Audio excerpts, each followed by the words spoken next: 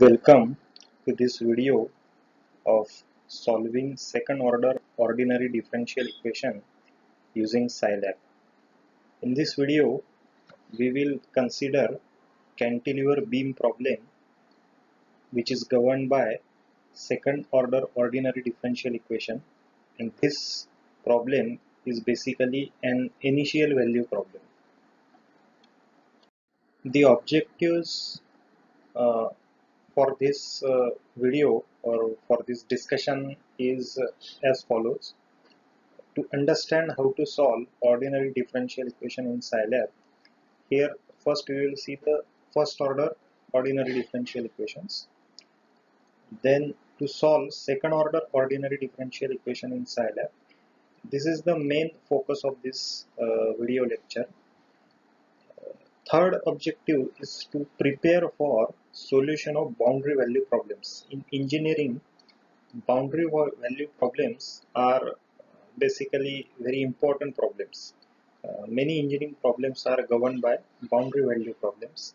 Uh, here we will not cover the boundary value problems in this video lecture but whatever discussions uh, we will do here, whatever uh, things we will see in this video, it will form a solid background uh, for uh, the required knowledge or for the required skills uh, that are uh, required for solution of boundary value problems. Let us consider an example of cantilever beam which is loaded with UDL over its entire span. Uh, the given data is as follows. The beam is loaded over the entire span with a UDL of intensity 0.4 newtons per mm. The length of beam is 1200 mm. The value of Young's modulus is 210 gigapascals and the cross section of beam is rectangular. Here you can see the neutral axis and uh, dimension of cross section. This is basically an initial value problem and uh, you can easily see the analytical solution is given by delta max which is nothing but the maximum deflection of cantilever beam which occurs at its free end is given by WL raised to power 4 upon 8 EI since UDL is acting vertically downward direction therefore there is a minus sign. Uh, so if we substitute the given values of WL Young's modulus and I, uh, we can see that the magnitude of deflection at uh, free end is 8.77 mm. Here the origin is at fixed end and the governing differential equation is like m is equal to ei into d2y by dx square which is very well known equation about the beams and you are already aware about this equation the boundary conditions are at x is equal to 0 y is equal to 0 this is a displacement boundary condition. And at x is equal to 0 dy by dx that is a that is the slope uh, is again 0 at x is equal to 0 now we have seen the governing differential equation m is equal to ei into d2y by dx square where y is the deflection of beam x is the position and n stands for bending moment at any given cross section. Now this is a second order ordinary differential equation m is equal to ei into d2i by dx square. Here we will convert this second order differential equation into first order differential equations. There will be two first order differential equations and why this is necessary that we will see uh, ahead. Uh, but for now uh, let us convert this second order differential equation into two first order differential equations. For that let us consider y is equal to u1 dy by dx is equal to du1 by dx which is equal to u2 and uh, d2y by dx square is equal to du2 by dx.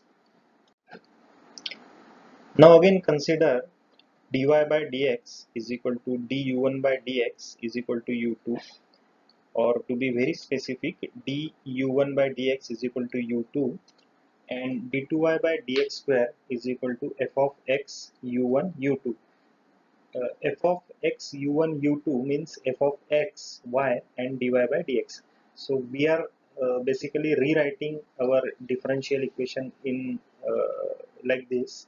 D2y by dx square is equal to f of x u1 u2 since u1 is y and u2 is uh, dy by dx so simply we are writing we are rewriting our differential equation like this. D2y by dx square is equal to f of x, y and dy by dx. The same equations that we have seen uh, are expressed here in terms of matrix equation uh, or these two matrices uh, on the left hand side and on the right hand side are nothing but column vectors. So if you see here the left hand side matrix or left hand side column vector is du1 by dx du2 by dx and on the right hand side uh, the column vector is u2 f of x u1 u2 which implies that uh, we can rewrite uh, these equations this matrix equation like dv by dx is equal to f of x v where v is a vector uh, column vector containing two variables u1 and u2 Therefore, dv by dx is simply d by dx of this uh, column vector u1, u2.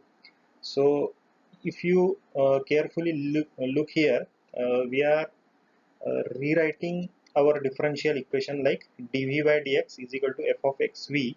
And uh, this is very similar to first order ordinary differential equation that we usually uh, write. Now we have seen uh, how to mathematically express uh, second order ordinary differential equation into two first order ordinary differential equations. Here onwards we will focus our attention in how to write these differential equations in Scilab because our uh, main objective is to use Scilab to solve second order ordinary differential equation. Now uh, you can see here this expression dv dx of 1 is equal to v of 2 and dv dx of 2 is equal to this governing differential equation of beam that we have seen earlier. Now before proceeding further let us make clear why I have written this uh, like this dvdx of 1 and dvdx of 2 what does this dvdx stands for basically this dvdx stands for a variable which will be defined in Scilab. This variable contains a column vector containing two rows and it is very analogous to this uh, dv by dx which is expressed here. And this dv by dx is nothing but uh, this vector containing two rows and one single column.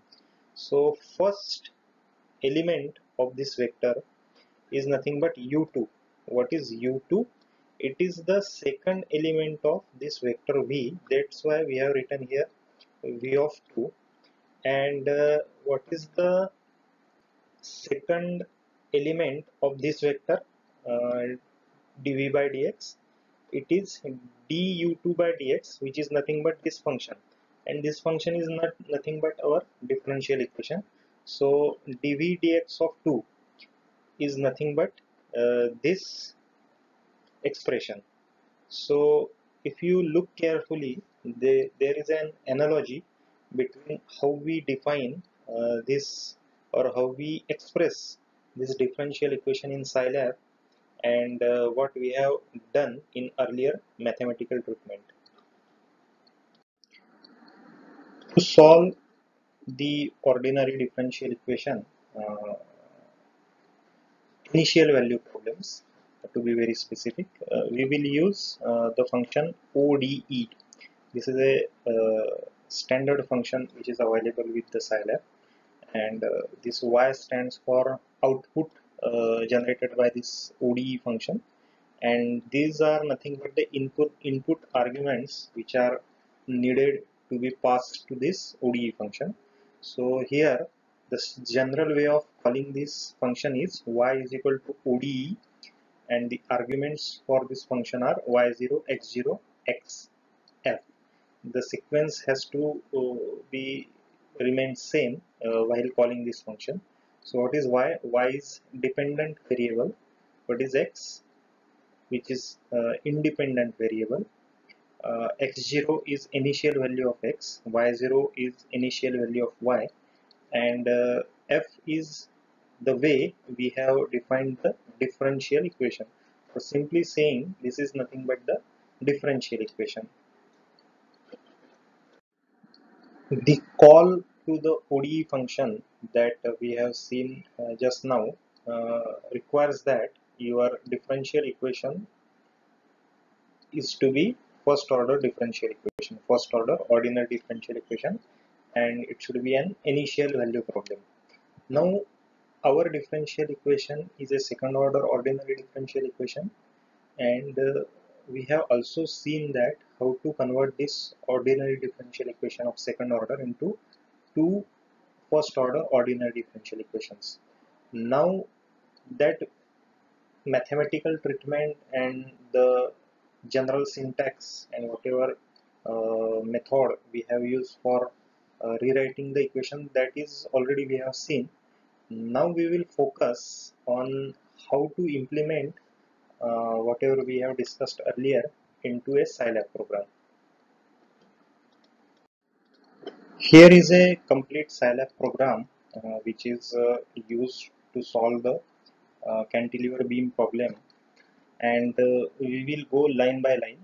So first line is you can see there is a clear uh, statement which basically clears all the initially stored variable uh, from the Scilab then second line is CLC which clears the console CLF uh, which will clear the graphical window because since we are also uh, uh, formulated this program in such a way that a graphical output of result will be produced. So if graphical window contains already any image, uh, it will be erased. Now uh, this line, here you can expect the user will enter the intensity of UDL and it will be stored in the variable W.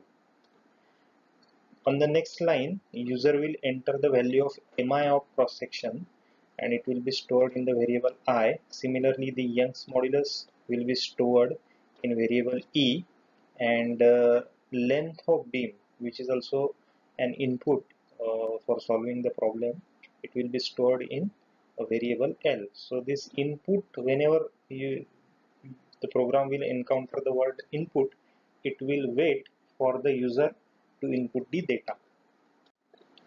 Here we have converted our Young's modulus uh, which was entered in gigapascal into Newton per mm square. Uh, the product of EI is stored in the variable J. Uh, this is important. Uh, this variable interval is equal to L by parts. Now suppose uh, analysis uh, we want to divide the beam into 10 parts. So total length of beam is 1200 mm. So divided by 10 so each interval we will be of 120 mm long. Now whatever we have seen till now it is expressed here. dv dx is equal to f of xv here we have defined the function in Scilab. This is the general way of defining uh, any function in Scilab where dv dx is the output variable and uh, f is the function and x and v are the input arguments to this function. Also we have seen these uh, statements dv dx of 1 is equal to v of 2 and dv dx of 2 is this is nothing but our general expression for the beam which is uh, given as 1 upon ei into wl square by 2 minus wlx plus wx square by 2 so in Scilab we have uh, written like this. Here x will contain uh, x is a vector row vector uh, which will contain different values of x uh, from 0 to 1200 and the differences between two values is equal to the interval. Means first value of x will be 0 then next value will be 120 mm next value will be 240 mm and so on. Since this is an initial value problem the boundary conditions are specified at x is equal to 0 and similarly uh, the values of y uh, or to be very specific uh, the values of y and dy by dx are again specified at x is equal to 0. So this y0 is a uh, column vector containing two rows. Uh, y0 uh, is equal to 0 semicolon 0 means first row is 0 means value of y at x is equal to 0 is 0 and in second row that is the value of dy by dx at x is equal to 0 again that is 0 so y is a, is a column vector containing two rows 0 and 0 so first uh, 0 in first row stands for value of y at x is equal to 0 and 0 in second row stands for value of dy by dx at x is equal to 0 now here is a call to very important function that we have seen earlier y is equal to ODE in bracket RK uh, y0 x0 x and f. This RK stands for Runge-Kutta uh, numerical method. Uh, you can use another differential uh, another uh, numerical method for solution of differential equation. Uh, it is not needed that every time you should call RK method. But for the for this example we have chosen Runge-Kutta method. That's why this RK uh, appears there in ODE function. And all the lines below uh, are uh, used to produce the output. So plots, in the function plot is used to plot the values of x and y. Uh, then uh, display this uh, this line disp function is used here that will display x and y value on the console and uh, last line uh, the function mprintf uh, it will print the magnitude of deflection at free end means at x is equal to l. The input to the scilab program uh, it is shown here. Uh, the values of udl intensity mi cross section young's modulus uh, length and number of parts into which we have to divide the beam for analysis is passed into the Scilab program. Upon the execution of this Scilab program, uh, the output is produced in console and it is shown here. Uh, you can see here uh, the corresponding values of x and y. So at x is equal to 0 means at fixed end the value of deflection y is again 0 and at x is equal to 1200 means at free end the value of y is 8.777 and uh, like this. Uh, again you can see that uh, the console gives a message the maximum deflection occurs at free end uh, that is true for cantilever and its magnitude is given by 8.78 mm here you can see the graphical output uh, position versus displacement and this curve is self-explanatory. For any doubt or for any queries you can drop an email to me. My email ID is shown at the beginning of this video. Also you can comment if you need to solve any other kind of differential equation using Scilab so that uh, I can prepare a video uh, explaining the same. Thank you for watching.